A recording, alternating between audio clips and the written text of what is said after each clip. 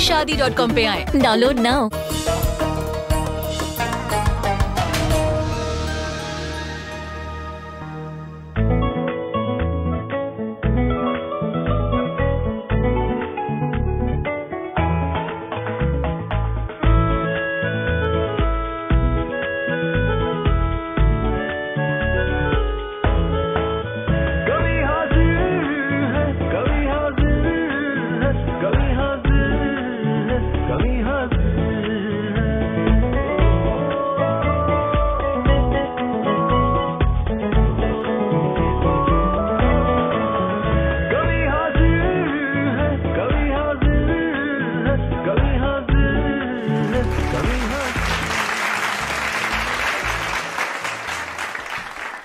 वो मोहब्बत की चाशनी और चाहत का पैमाना। बस तेरी आरज़ू हो और उल्फत का अफसाना। वो बातों में जादू, वो मन का जीत जाना। कभी आपको हंसाए, कभी खुद का गुदगुदाना। दोस्तों, आदाब, मैं तारिक उस्मानी लेकर हाजिर हूँ आपका प्यारा और ख़ास प्रोग्राम, कवि हाजिर है। डीडी उर्दू लेकर आए हैं आपके लिए एक ऐसा प्रोग्राम जो आपको हंसाएगा, गुदगुदाएगा और कभी कभी संजीदा कर जाएगा। एक ऐसा प्रोग्राम जो हिंदुस्तान की मुश्तरका तहजीब और अदबी शऊर का गहवारा है। तो किस बात की ताखीर है? जी हाँ कवि हाजिर है। हाजिर है हाजिर है हाजिर है हाजिर दोस्तों ज़बानों के ताल्लुक़ से हमेशा बातें होती रहती हैं। हिंदी भी हमारी है, उर्दू भी हमारी है, यह हमेशा कहा जाता है।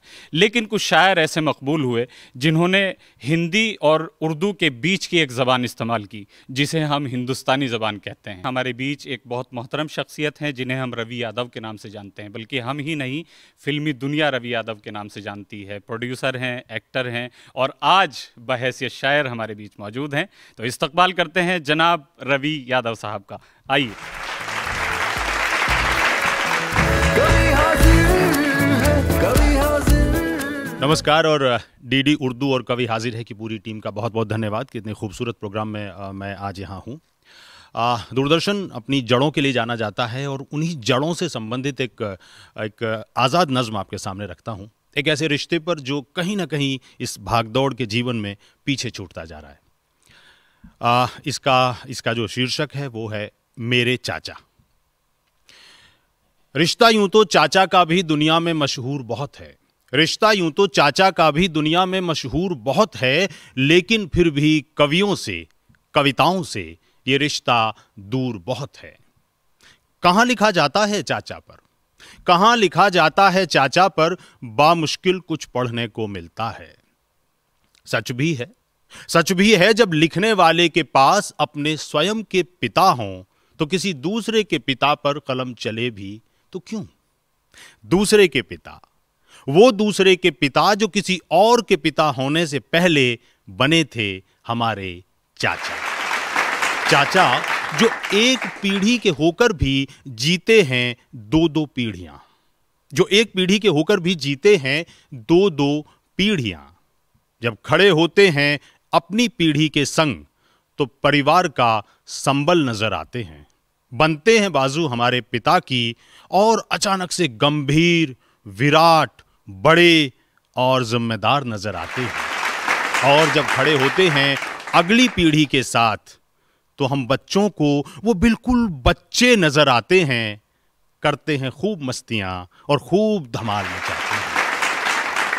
वो तमाम बातें, वो तमाम बातें जो माता पिता से कहने में छूटते हैं पसीने हमारे, और वो तमाम बातें जो माता पिता उगलवाना चाहते हैं हमसे या मनवाना चाहते हैं हमसे, उन बातों के बीच चाचा एक सेतु का कार्य करते हैं।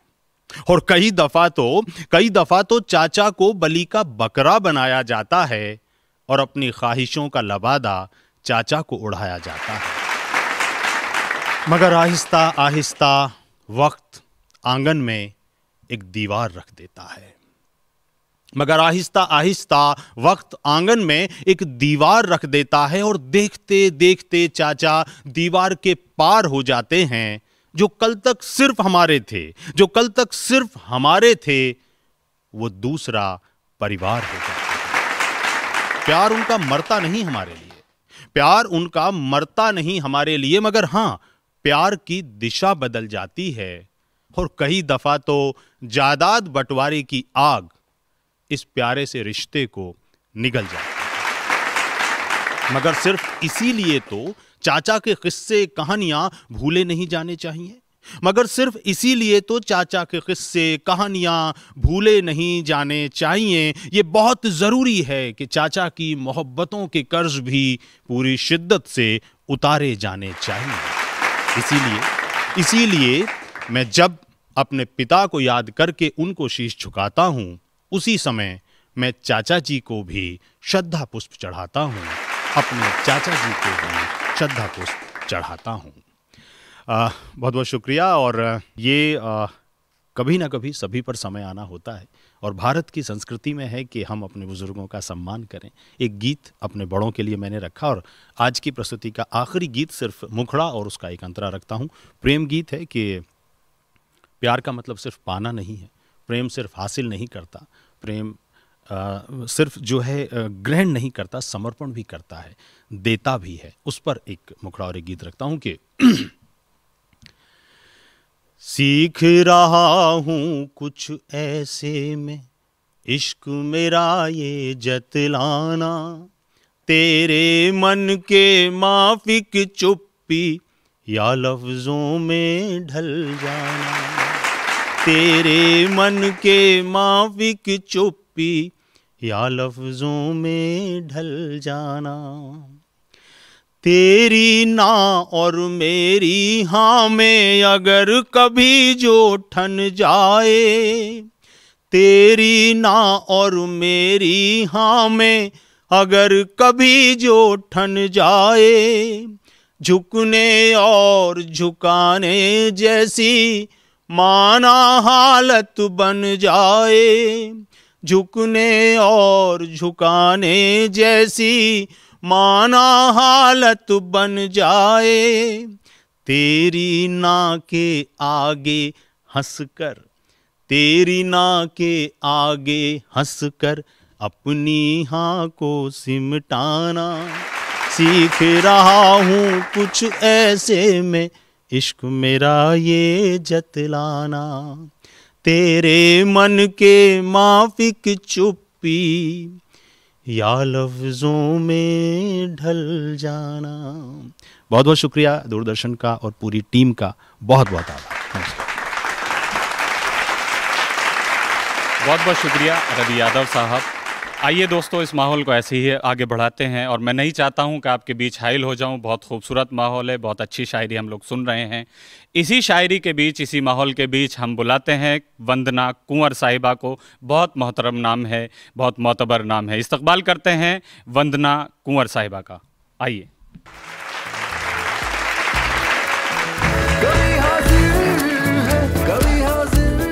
एक गीत दे रही हूँ। अपने देश के नाम कि हमने बहुत कुछ सहन किया, लेकिन अब सहन करने का वक्त गया तो कहती हूँ, सीने में ज्वाला धद की है, सीने में ज्वाला धद की है, और आँख में है पानी सीने में ज्वाला धद की है और आँख में है पानी। अब न सहेंगे, अब न सहेंगे, हम तेरी ये मनमानी। सीने में ज्वाला धद की है और आँख में है पानी। अब न सहेंगे, अब न सहेंगे। हम तेरी ये मनमानी सीने में ज्वाला धद की है। तूने खंजर ही घोंपे हैं, पीठों पर ही वार किया। तूने खंजर ही घोंपे हैं, पीठों पर ही वार किया। तूने हर दम दिया है धोखा, हमने तुझसे प्यार किया है इतिहास गवाह कि तूने, है इतिहास गवाह कि तूने, हर दम तलवारें तानी। अब न सहेंगे, अब न सहेंगे, हम तेरी ये मनमानी। सीने में ज्वाला धधकी है और आँख में है पानी। सीने में ज्वाला धधकी है और आँख में है पानी। अब न सहेंगे, अब न सहेंगे, हम तेरी ये मनमानी। सीने में धद की है। और हमारा देश अहिंसा का देश है। तूने सोचा हम चुप हैं तो हम डर करके बैठे हैं। तूने सोचा हम चुप हैं तो हम डर कर के बैठे हैं। नफरत की आंधी आए तो हम उसके संग बहते हैं। नफरत की आंधी आए तो हम उसके संग बहते हैं। मिट जाएगा तू जग से मिट जाएगा तू जग से, ये बात नहीं तूने जानी। अब न सहेंगे, अब न सहेंगे, हम तेरी ये मनमानी। सीने में ज्वाला धद की है और आँख में है पानी। अब न सहेंगे, अब न सहेंगे हम तेरी ये मनमानी। सीने में ज्वाला धधकी है। और गीत का आखिरी बंद दे रही हूँ। हिंदू, मुस्लिम, सिख, ईसाई यहाँ प्रेम से रहते हैं। हमारा देश अनेकता में एकता का देश है तो कहती हूँ। हिंदू, मुस्लिम, सिख, ईसाई यहाँ प्रेम से रहते हैं। चाहे जो भी हो सारे ही अब तो ये सब कहते हैं। हिंदू, मुस्लिम, सिख, ईसाई यहाँ प्रेम से रहते हैं। चाहे जो भी हो सारे ही मिलकर अब ये कहते हैं। चाहे जाति धर्म अलग हो, चाहे जाति धर्म अलग हो, पर हम हैं हिंदुस्तानी।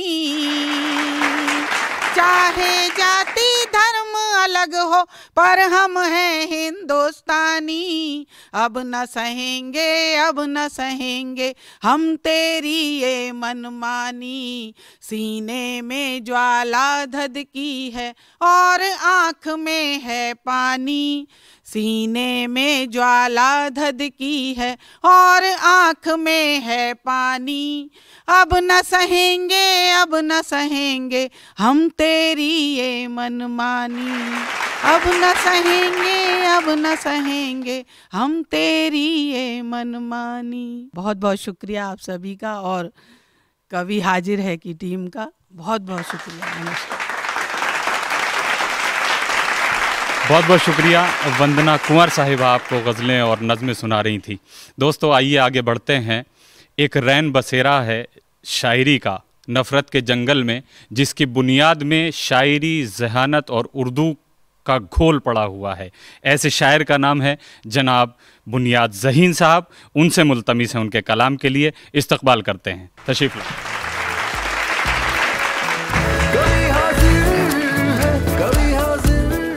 डीडी उर्दू और कवि हाजिर है कि पूरी टीम और तमाम अरकान का शुक्रगुजार हूँ। मुबारकबाद पेश करता हूँ। कुछ कतात के साथ अपने शेरी सफ़र का आगाज़ करता हूँ। मुलाहजा फरमाएँ।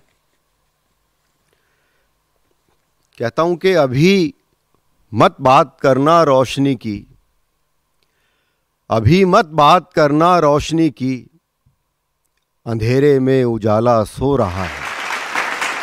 अभी मत बात करना रोशनी की। अंधेरे में उजाला सो रहा है। ज़रूरत ही नहीं जोरो जफा की। वफा की याड़ में सब हो रहा है। वफा की याड़ में सब हो रहा है। फ़ज़ाओं में तो नफ़रत घोल दी है। मोहब्बत को भी क्या मैला करोगे? फ़ज़ाओं में तो नफ़रत घोल दी है। मोहब्बत को भी क्या मैला करोगे? यकीन नज़दीकियों का हो रहा है। तसल्ली है कि अब धोखा करोगे। फजाओं में तो नफरत घोल दी है। मोहब्बत को भी क्या मैला करोगे? यकीन नज़दीकियों का हो रहा है। तसल्ली है कि अब धोखा करोगे। देखिए कि लगन की बात थी। आखिर लगन के साथ गई। लगन की बात थी, आखिर लगन के साथ गई। गुलों को छोड़ के खुशबू पवन के साथ गई। लगन की बात थी, आखिर लगन के साथ गई। गुलों को छोड़ के खुशबू पवन के साथ गई। भटकते रहना है तुमको अकेले जिस्म लिए। तुम्हारी रूह तो मेरे बदन के साथ गई। भटकते रहना है तुमको अकेले जिस्म लिए। तुम्हारी रूह तो मेरे बदन के साथ गई। देखिए, एक मतला और दो शेर। ज़मीन पे हैं कदम, ख्वाब आसमान के हैं। ज़मीन पे हैं कदम, ख्वाब आसमान के हैं। शिकस्ता पर हैं मगर हौसले उड़ान के हैं। शिकस्ता पर हैं, मगर हौसले उड़ान के हैं। शेर कहता हूँ कि फिसल न जाएँ, कहीं पाँव फिर बुलंदी से। फिसल न जाएँ, कहीं पाँव फिर बुलंदी से। ज़रा संभल के चलो, रास्ते ढलान के हैं। ज़रा संभल के चलो, रास्ते ढलान के हैं। और तेरी भवों की तनावट को जानता हूँ मैं। तेरी भवों की तनावट को जानता हूँ मैं। ये तीर जितने हैं, सारे तेरी कमान के हैं। ये तीर जितने हैं, सारे तेरी कमान के हैं। एक मतला और दो शेर मुलायजा फरमाए। कहता हूँ कि उसने मेरे वजूद को ज़ेरो ज़बर किया। उसने मेरे वजूद को ज़ेरो ज़बर किया। जब भी किया है वार तो एहसास पर किया। जब भी किया है वार तो एहसास पर किया। रिश्तों में अब कहाँ है वो पहली सी ताजगी? रिश्तों में अब कहाँ है वो पहली सी ताजगी? इंसान पे ख्वाहिशात ने कैसा असर किया? इंसान पे ख्वाहिशात ने कैसा असर किया? आए थे बिन लिबास। जमाने में हम जहीन। आए थे बिन लिबास, जमाने में हम जहीन। बस एक कफन के वास्ते इतना सफ़र किया। आए थे बिन लिबास, ज़माने में हम जहीन। बस एक कफन के वास्ते इतना सफ़र किया। एक गज़ल पेश करता हूँ। मतला पेश करता हूँ, हाजिर करता हूँ। मुलायजा फरमाए। कहता हूँ कि जैसा तू है खुद को वैसा कर लें क्या? जैसा तू है, खुद को वैसा कर लें क्या? पाकिजा दिल को भी गंदा कर लें क्या? जैसा तू है, खुद को वैसा कर लें क्या? पाकिजा दिल को भी गंदा कर लें क्या? शेर मुलायजा फरमाए, कहता हूँ कि तेरे साथ रहें, तुझको बर्दाश्त करें। तेरे साथ रहें, तुझको बर्दाश्त करें। समझौते पे फिर समझौता कर लें क्या?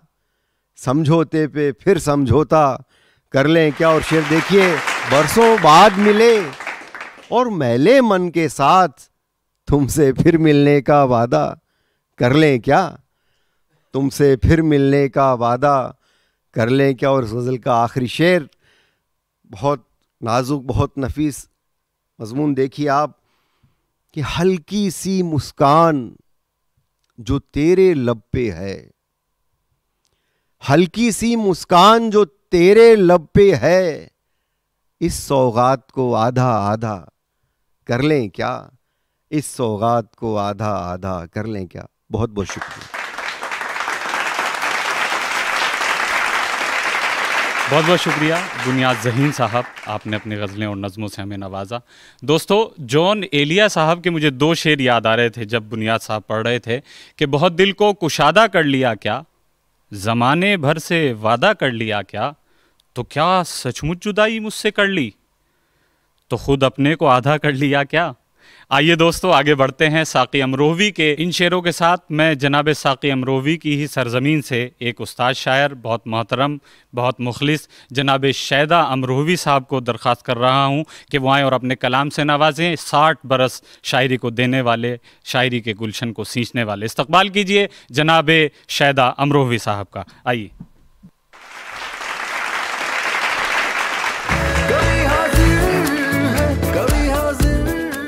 मोहतरम हजरात, सबसे पहले तो मैं दूरदर्शन का शुक्रिया अदा करना चाहता हूँ कि कभी हाजिर जैसी महफिल में मुझे हाजिर होने का मौका दिया। अर्ज़ किया है, मुलाजा कीजिए कि तलखी ज़बाँ की बाई से आज़ार हो गई।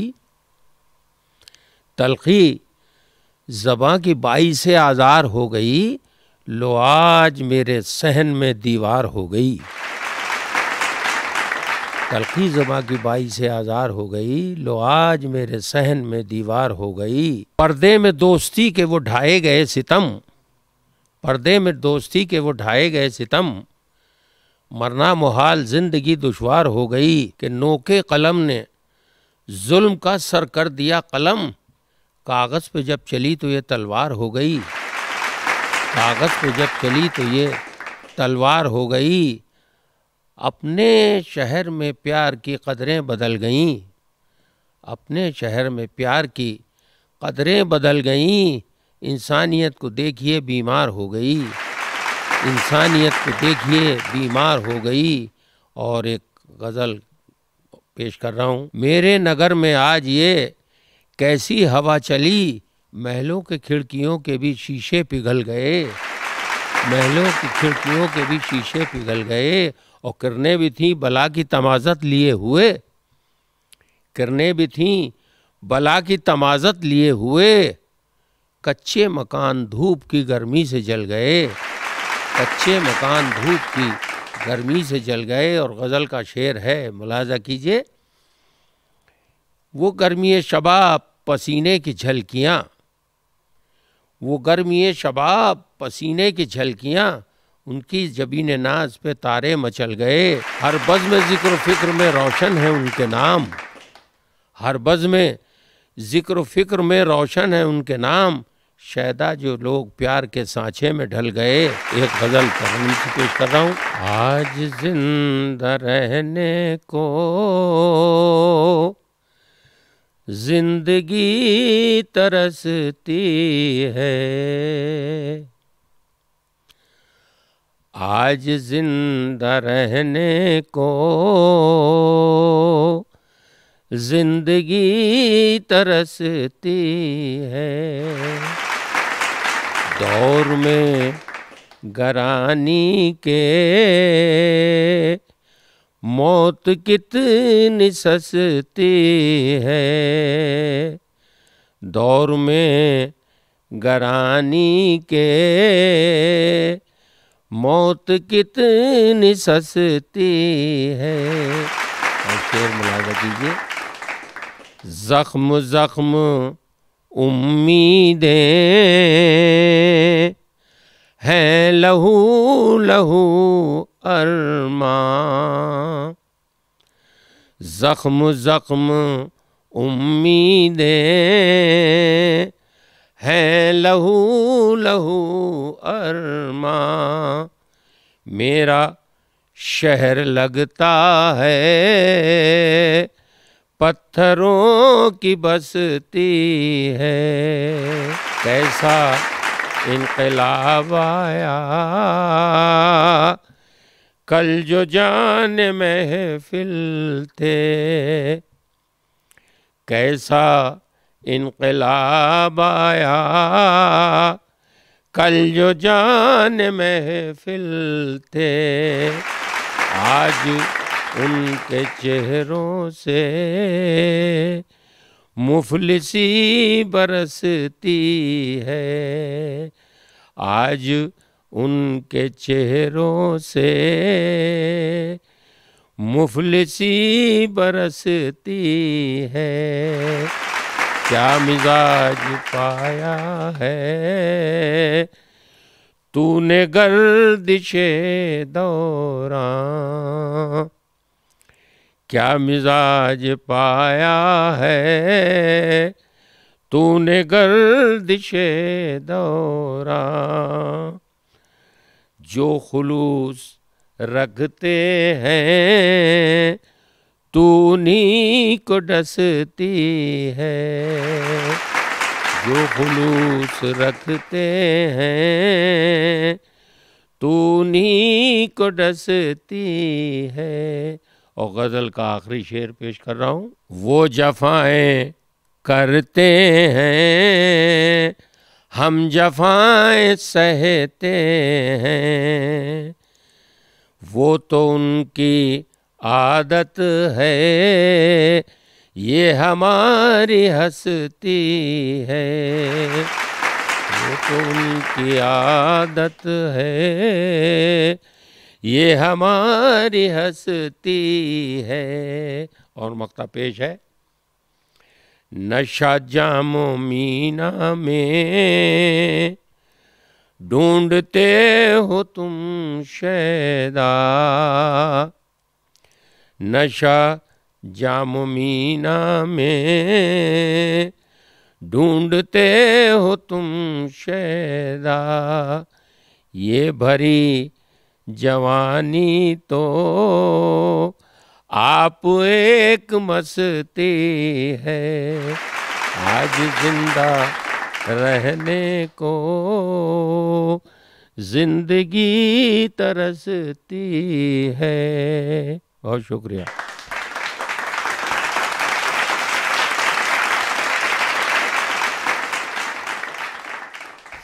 बहुत बहुत शुक्रिया जनाब शैदा अमरोहवी साहब।